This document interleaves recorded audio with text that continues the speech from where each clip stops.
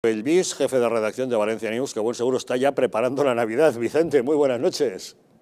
Hola, muy buenas noches, Javier. Como ves, hoy me he decidido hacerte un poco la competencia, aunque el alumno que soy yo nunca puede superar a un maestro como tú. bueno, Vicente, cuéntanos, ¿cómo, ¿cómo, ha sido recibido en el sector turístico valenciano ese, ese nuevo impuesto que quieren imponer, eh, la tasa turística? Claro, vamos a ver. Eh, estamos en plena negociación que hoy se han aprobado en Cortes Valencianas de los presupuestos generales de la Generalitat Valenciana para el año 2022. Entonces, como ya anunciamos también hace un mes y pico aquí justo, eh, también en el Distrito TV, y anunciamos en el periódico, en este caso Valencia News, Compromís estaba eh, fijado todos sus esfuerzos en implantar esta nueva tasa turística, un gravamen que dijo que primero iban a ser para eh, la población joven, para estas viviendas jóvenes, luego dijo que iba a ser para otras cosas. Y recordar que desde hace tres meses sacó el debate la propia Mónica Oltra, aprovechando que Chimo Puig estaba hablando de la financiación en Sevilla y cogió al que entonces era dirigente de Podemos eh, y se lo llevó directamente hizo una rueda de prensa de espaldas del presidente. Esto al final parece que ha sido eh, un hachazo más de los nacionalistas independentistas de Compromís que se la han gastado a su socio de gobierno, el Partido Socialista. Estos socios de gobierno que más bien son enemigos aférrimos y que realmente lo que ha hecho Compromís es eh, negociar estos presupuestos y decir que no había presupuestos si no había tasa turística. Y el Partido Socialista, una vez más, se lo ha tenido que comer, como se dice coloquialmente, con patatas. Compromís ha negociado de espaldas al Partido Socialista con Podemos y una vez ya dos socios de los tres de gobierno estaban de acuerdo, no le ha quedado al Partido Socialista que para sacar adelante estos presupuestos firmar. De hecho, en las propias imágenes que eh, nos dejaban ver los propios eh, interesados, en, este caso en Cortes Valencianas, los síndicos de Compromís, PSOE y Podemos, la cara del síndico del de Partido Socialista, Manolo Mata, lo dice todo. Directamente estaba muy incómodo ¿Por qué? Porque el presidente de la Generalitat había dicho por activa y por pasiva que no se iba a implantar esta tasa turística, que ahora era el peor momento y que ahora era el momento de estar junto a los empresarios del sector hotelero y turístico. Recordemos que en la Comunidad Valenciana el 15% del Producto Interior Bruto, aproximadamente incluso un poquito más, es el que representa al sector turístico. Entonces, atacar directamente a esta gallina los huevos de oro parece que no va a beneficiar en nada a la economía. Eh, ¿Qué ha pasado? Pues automáticamente nada más se presentó, eh, ya contamos ayer mismo, se presentó por la mañana y por la tarde habían las primeras reacciones.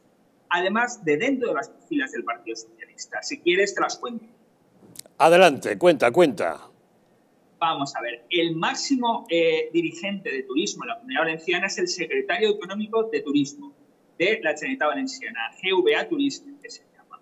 Este es Francesco Romero Francesco Lomer hay que romper una lanza a su favor, que en toda la pandemia se ha estado partiendo el espinazo y todo su equipo por intentar ayudar al turismo, por conseguir las mayores eh, ayudas a este sector tan eh, denostado y que tan mal lo ha pasado en esta época de pandemia y lo sigue pasando. Recordemos que todavía hay empresas en ERTE prácticamente. ¿Por qué? Porque no se ha conseguido eh, remontar esas cifras todavía. ¿Qué pasa? Que a nadie se le ocurría que esto volvería a pasar estábamos en la, inmersos en esta sexta ola. Y el secretario de Turismo, automáticamente, nada más saberlo, dijo, esto es un grave error y no se puede implantar la tasa turística. Llama la atención que el máximo responsable de la Generalitat Valenciana en materia de turismo esté en contra. Pero automáticamente, a las pocas horas, el diputado de Diputación de Valencia de Turismo, que es el alcalde de, de Cullera, dijo, en Cullera no habrá tasa turística y rechazo completamente esta tasa turística. Me coloco al lado de los empresarios del turismo y no al lado de quien quieren imponer esta tasa a los hoteleros. ¿Qué tenemos? Pues tenemos la guerra abierta dentro del Partido Socialista, donde los máximos dirigentes en cuestiones de turismo también se han pronunciado, gente en Diputación de Castellón y Diputación de Alicante, completamente rechazando esta tasa, diciendo, bueno, como dijo el presidente Puig, y me acojo a sus palabras, esto de debate se tiene que hacer con los interesados. Por supuesto, bueno, puede ser bueno o no, ya veremos, pero de momento no se les puede grabar con más impuestos, porque al final lo que va a pasar es que ellos no pueden repercutir en esos precios que están tirando en medidor, como bien decía, se están tirando los precios directamente, están vendiendo casi a pérdidas por intentar sobrevivir. Si encima les grabamos que un euro o dos euros más, esto es un sin vivir. Ojo, porque lo que ha hecho Compromís ha sido eh, directamente una, vamos a decirlo, porque a estas horas de la noche se puede decir, pero una auténtica putada.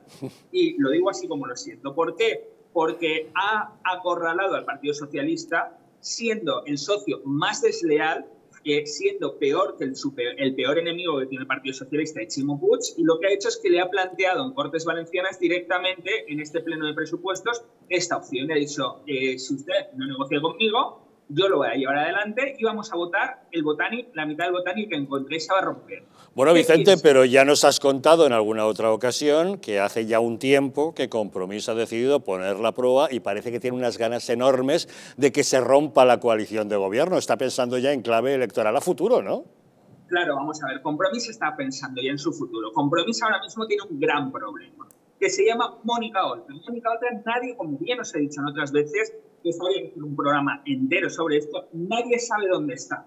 ¿Por qué? Porque Mónica Oltra no se sabe si está eh, con Yolanda Díaz en este nuevo proyecto que nadie sabe hacia dónde va a parar, si está, como Valdoví está, junto con Más Madrid, con Niño de Rejón, o si siguen eh, estando estos compañeros de cama con Podemos. Entonces parece que no tienen claro si elegir entre mamá, papá o el tío si eligen entre Podemos, entre Íñigo de Rejón o entre el nuevo proyecto de.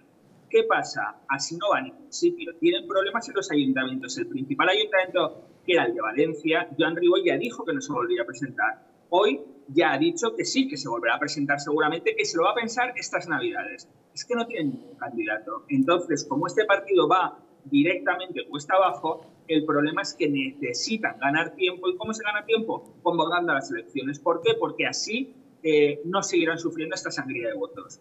¿Qué hacer? Pues mirar al partido desde dentro y de paso intentar, de cara a sus votantes y de cara a Podemos, cada vez acorralar más al Partido Socialista.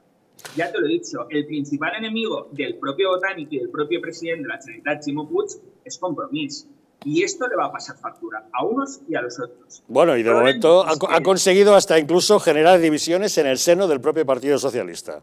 Claro, vamos a ver, están saliendo en cascada muchísimos alcaldes de poblaciones turísticas, alcaldes socialistas que están diciendo, yo no lo voy a implantar. Lo único que ha conseguido el Partido Socialista es decir, la tasa turística no será de la Comunidad Valenciana, sino que vamos a hacer eh, una especie de regulación, un marco regulatorio que le dará potestad a cada ayuntamiento para que lo haga cada ayuntamiento. Entonces puede pasar, como aquí Cullera, ha dicho el alcalde, que no habrá tasa turística, que Cullera será eh, free eh, tax, ¿vale? O sea, una, una ciudad libre de tasas turísticas y en la población de al lado, en este caso 30 kilómetros Valencia, haya tasa turística porque lo imponga compromiso.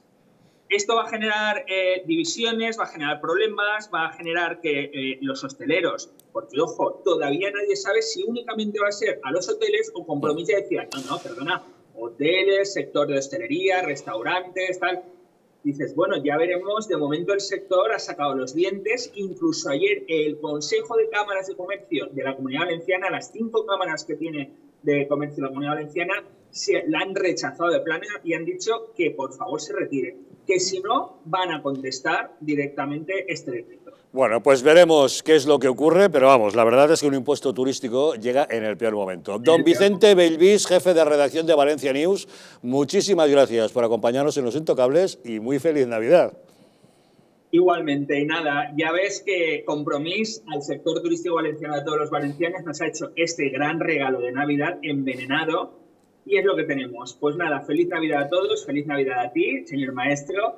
Y nada, esperemos unas fechas, ojo, con responsabilidad, porque se están complicando mucho los datos en la comunidad valenciana.